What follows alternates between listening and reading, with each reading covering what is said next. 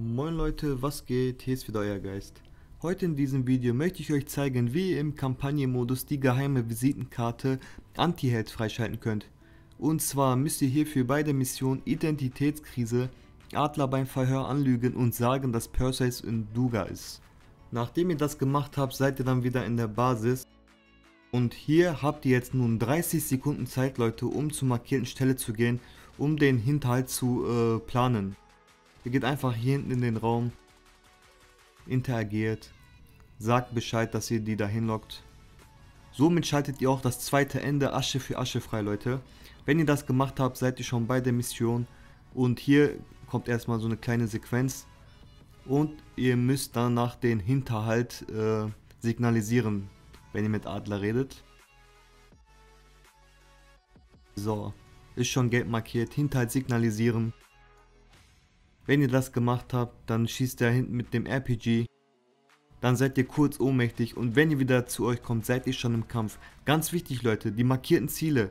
Ihr müsst eure alten Teamkameraden töten, aber nur mit roher Gewalt. Das heißt, ihr müsst aufpassen, dass ihr sie nicht mit einer Kugel trifft, sondern ihr müsst alle im Nahkampf töten, Leute. Ganz wichtig.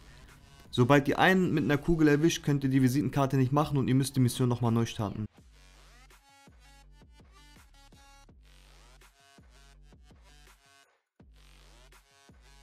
So, passt auf, die schießt von allen Seiten. So, da haben wir schon Wutz. Einfach hingehen, Nahkampf. Dann geht die direkt zum nächsten, zu Mason. Und ihr geht zu Lazar.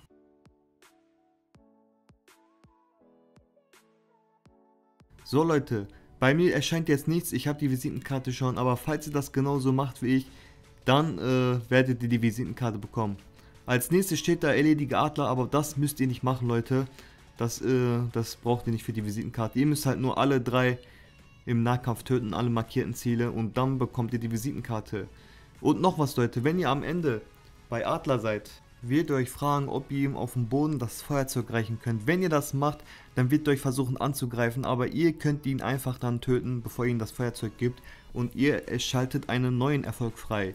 So, das war's mit dem Video, Leute. Falls euch das Video gefallen hat und ich euch helfen konnte, lasst doch ein Like da. Und für all die, die noch kein Abo bei mir haben, können das an dieser Stelle gerne ändern. Ansonsten, ciao und bis zum nächsten Mal.